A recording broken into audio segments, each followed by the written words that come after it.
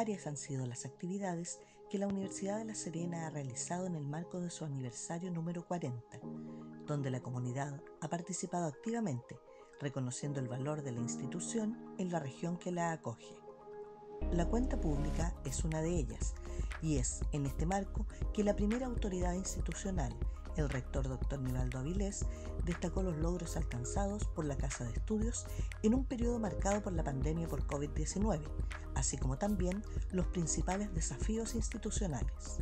El inicio de esta emergencia sanitaria llevó a la institución a decretar en marzo de 2020 que todas nuestras funciones se desarrollen vía remota, salvo aquellas consideradas críticas, pensando siempre en la salud, integridad y el cuidado de todos quienes forman parte de la comunidad ULS y sus familias.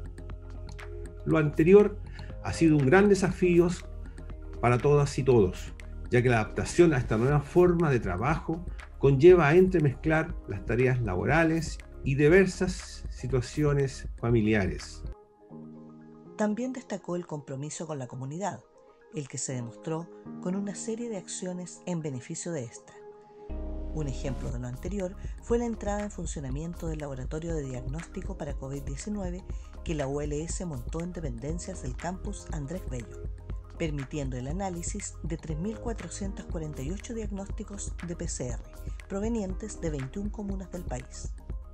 Además de la cuenta pública, la ULS realizó la ceremonia de reconocimiento de los funcionarios académicos y no académicos que cumplían 20 y 30 años de antigüedad en la institución. A quienes participaron de la ceremonia remota se les entregó un diploma y medalla virtual, galardones que serán entregados en forma física una vez que finalice la emergencia sanitaria por COVID-19. Otra de las actividades fue la ceremonia de distinción para los funcionarios que se acogen al retiro voluntario. El rector Avilés resaltó la importancia de cada uno de ellos.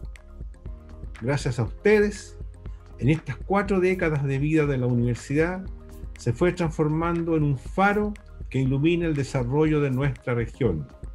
Y en este andar, ustedes fueron parte vital para el cumplimiento de los objetivos que como comunidad nos propusimos.